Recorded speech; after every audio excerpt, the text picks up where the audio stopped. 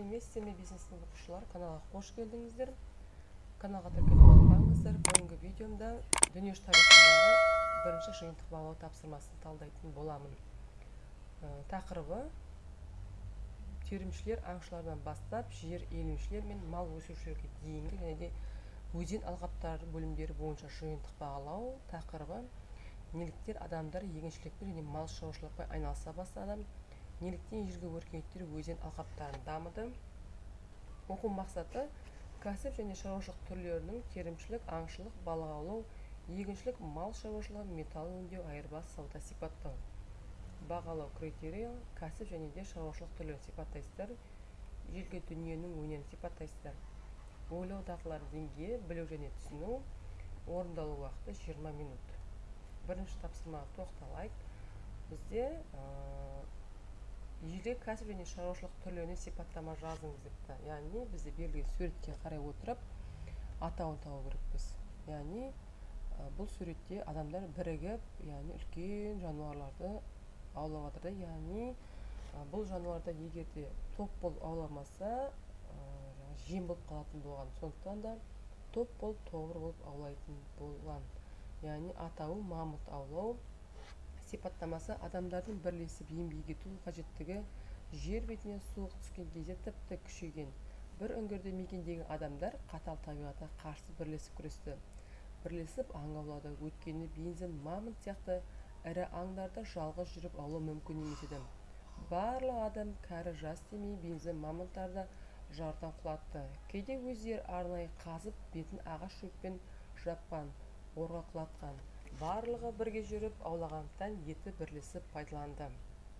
Ары екінші суретке тоқталатын болсақ екінші суретте де адамдардың егіншілікпен терімшілікпен айналысқанын көруге боламыз иә яғни атауы диқаншылық тұқым себу және егін орау дейді. Яғни егіншілік пайда болмай тұрған кезде адамдар алғашқы адамдарымыз терімшілікпен айналысқан терімшілік деп отырғанымыз яғни табиғатта дайын өнімді тұтынды. Яғни терімшілікпен көбінесе әйелдер айналысты жаңағы ер адамдар аң аулаумен айналысқан екен. Сипаттамасына тоқталайық. Терімшілікпен айналыса жүріп әйелдер өсімдіктердің қалай өсетінін байқады. Көбірек өнім алу үшін дәндерін жерді үшкір таяқтармен қасып отырғызды міне осылайша дәнді себу арқылы көбірек өнім алу ісі басталды. Бұл қарапайым егіншілік еді. Жұмсақтау жерлерді басы имек ағаштарымен қопсытуды да тиімді екенін көрді бұл тесе еді. Кейіннен тесенің имек басына мүйіз үшкір сүйек немесе тас орната бастады бұл жер қазу ісін жеңілдеткен.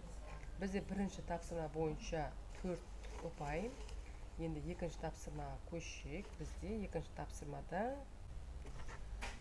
ежелгі дүниедегі әлемнің жеті кереметтерінің бірі аспалы бақ. Вавилонның аса қуатты билеушілерінің бірі навуходоносор болды. Ол солтүстіктегі таулы өлкеде туып өскен қызға үйленеді. Той бітеді біраз уақыт өтеді. Қанша өзің туып өскен жерін сағына бастайды. Оның есіне таудың салқын самалы баурайына өскен шырша мен қарағай қайың мен тал тастан тасқа секірген таутекелер ойнап жүгірген еліктер сыңғырлап аққан бұлақтар сайраған бұлақтар мен құстар түсе береді. Оны бірте бірте көңілсіздік басты. Ханшаның солғын жүзін жабырқау көңілін байқаған патша есебін сұрады да сонда ханша туған жерін сағынғанын жүрген айтты. Дәулетіне сәулетіне сай мемлекеттің құдіретті билеушісі былай деп бұйырады. Мен өзімді солтүстіктегі тауда жүргенде сезінуім керек. Соның амалын табыңдар уәзірдің ойлана келе сәулетшілерді шақырды. Мән жайды түсінген олар жасанды зәулім бақ тұрғызды. Бірнеше қабаттан тұратын керемет осылайша дүниеге келді. Аспалы бақ жер көктің арасындағы ілініп қалғандай болып көрінеді бағанаға тұрғызылған әрбір қабатта әртүрлі гүлдер өсірілді ағаштар отырғызылды тіпті жануарлар да жүрді. Олар құлдар айналдырған тұратын алып шығарулар арқылы суарылды. Гүлдер мен өсімдіктер толы баққа аспанмен таласқандай адамдарды қызықтыра таңдандырды. Келесі суретіміз бізде. Яғни бізде суреттің сына жазу таңбаларының айналуы. Сипаттамасы қосөзен өркениетінің басты белгісінің бірі жазу болды. Оны дүниеге келтіргендер қосөзенге шығыстан келген шумерліктер еді. Онда заттың немесе жануардың ерекшелігін көрсететін белгілері таңба ретінде салды мысалы бұқа деп былай жазылып шыққан бұл бұқаның басы еді. Осылайша ежелгі шумер әріптері қалыптасты. Шумерлік жазу жүйесі пайда болды. Әріптер балшыққа батыра отырып сызу арқылы жазылған. Ол әріптер балшық кеткен соң сынаның орнында болып қалатын. Сондықтан да бұл жазу жүйесін сына жазу деп аталды жалпы бізде он ұпай егер де сіздерге пайдалы болса каналға тіркелуді ұмытпаңыздар достарыңызбен бөлісіңіздер. Осы берілген мәліметтердің барлығын көшіріп алмаңыздар өздеріңіз түсініп орындаңыздар. Сау болыңыздар.